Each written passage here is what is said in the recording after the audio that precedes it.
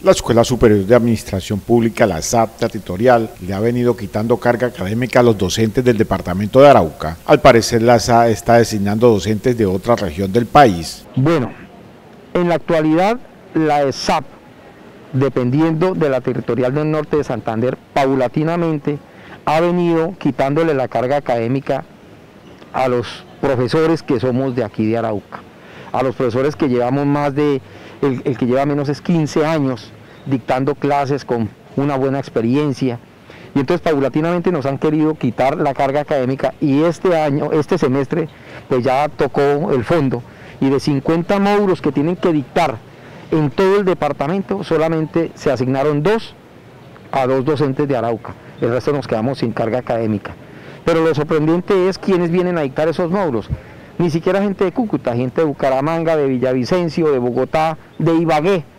Entonces no hay derecho, no hay derecho que nos estén ultrajando de esa forma, no solamente a los profesores, sino a la comunidad educativa en general, porque los, alumnos también se sienten mal. Hay un malestar en los alumnos porque son gente de otro lado que no comprende la idiosincrasia de, de aquí de la región.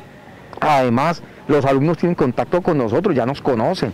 El docente Elmer Ariza manifestó que el departamento de Arauca cuenta con excelentes docentes para que las a nombre de otras regiones del país. Hombre, no es que faltan, no es que no, hagan falta docentes, nosotros tenemos excelentes docentes, ¿sí? Tenemos al doctor Hugo Martínez, tenemos a Edgar Monsalve, tenemos a, Jorge Ibarra, a Danilo Rizo, a Oscar Malagón, el suscrito que llevamos muchísimo tiempo sirviéndole a, la ESAP aquí en Arauca, para que de un momento a otro, sin motivo alguno, sin motivo alguno, los dejen sin carga académica.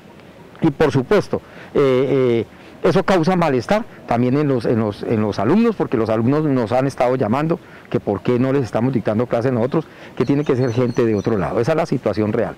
Para el ingeniero Ariza, anteriormente era una planta de 50 docentes, ahora solo cuentan con 8 aproximadamente en la ESAT netamente araucanos. Nosotros ahorita éramos, hace unos 10 años, 12 años, éramos 15, 15, 20 docentes, ahora solamente quedamos 8 docentes y ahora quedamos 6 docentes sin carga académica.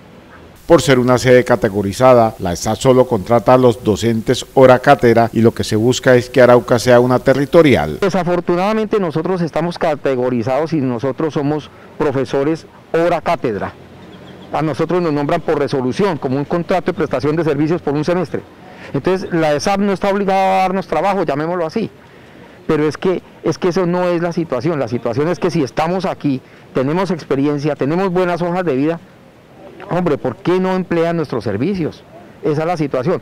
Pero esto lo aprovecho, Carlos, para hacer un llamado a los estamentos administrativos, al señor gobernador, a nuestros representantes a la Cámara, a nuestros concejales, a nuestros alcaldes, que luchemos por la territorial de Arauca, que busquemos la independencia, nosotros podemos.